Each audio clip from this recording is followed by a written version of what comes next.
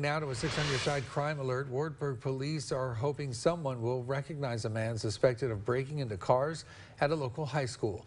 Go ahead and take a look at your screen. Police think this man broke into cars at Wartburg Central High School on Saturday.